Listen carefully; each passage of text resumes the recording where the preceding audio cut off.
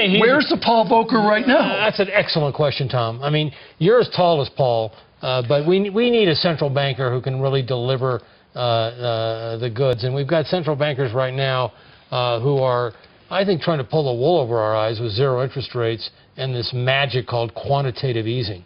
Quantitative easing works for economies in crisis. What does it do to sustain uh, economic recovery? Are we an economy in crisis in the United States? We're not with negative GDP.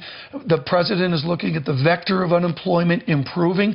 Are we? Are you overblowing the crisis, or is it? Is it you're looking out two or three years to the next crisis? Tom, I've told you for a long time you have a short-term memory problem. It was three years ago. I was at the piano bar last night. Yeah, Leave me okay, alone. okay. Well, where, uh, what do you remember what happened three years ago? Yes, I'm It wasn't too it. pretty, okay? No. Uh, and the recovery we've had has been anemic.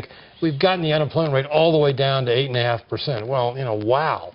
You know, are we going to be able to uh, um, uh, create enough economic growth Mm-hmm. to take that unemployment rate meaningfully lower? Stephen Roach of Yale and Morgan Stanley. Is capitalism broken? No, it's not broken, uh, Tom, but I think, uh, you know, the model that former Chairman Alan Greenspan has long advocated, uh, you know, a market-based model of self-regulation in an era of increasing complexity and uh, interdependence, uh, that, that was a big mistake. So um, uh, I I think we, we, we're definitely going to go back and uh, rethink the, the idea of, of letting the capitalist system go uh, unchecked in, in, in this type of a period. We're in original monetary policy. Please bring up what we call the Evans chart here. This is the president of the Chicago Fed suggesting a highly accommodative strategy to a 7% unemployment. Steve Roach, this isn't in the textbooks at Wisconsin or anywhere else. What are we doing here? We're, we we have a massively accommodative policy. You mentioned bet the ranch. Are we betting the ranch out to 2014? Zero interest rates and quantitative easing uh, the recipe for full employment? I think that's the question. The linkage to employment. Is it, but it, does it take us on this glide path?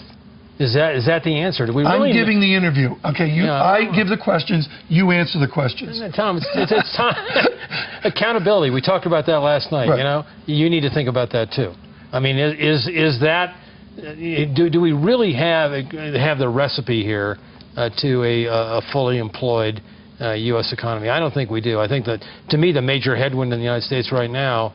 Uh, is the 71% of our economy that we call consumer spending. Consumers uh, overspent uh, for a generation, uh, and they're left with a legacy of excess debt, insufficient saving, uh, and they have figured this out. They're slowly beginning a painful process of, uh, Okay. of delevering and saving. Within y equals c plus g plus nx. I think that's the. I'll ask Mick Jagger X tonight at the piano N. bar, X. whatever it is. Yeah. But within investment, do we just assume a depreciating, a, a decreasing consumption of GDP moves over to investment, or does it move over to government or net exports? Where's the investment going to come up with? Bring up the chart here of the flat investment to Tom, GDP. you've got too many charts. You know, Well, we're doing let's, let's, we do charts even in Davos, but but can we assume we're going to get greater investment? It's a chartapalooza. Are we going to get greater investment to bring on those jobs? we can't assume that we're going to get great investment when we have uh, a uh, for the United States a historic shortfall of national saving. How are we going to fund uh, the investment?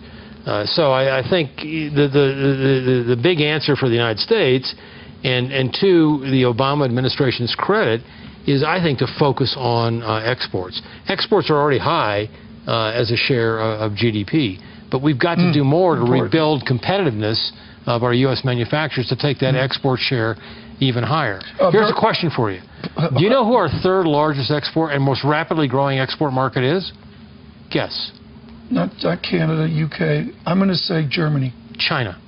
China is Third largest, most rapidly growing uh, export market. And we're sitting here, the President announced the State of the Union, uh, that we're going to d- develop a new, uh, what do you call it? Um, uh, I won't use the word surveillance, but it's that. Oh, I it's- like that word. it's- Very good.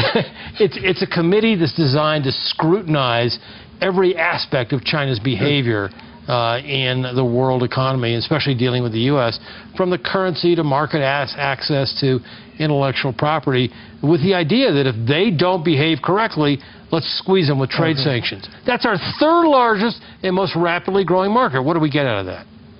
You tell me. We got to keep working at it. That's what I know. Steve Roach, thank you so much.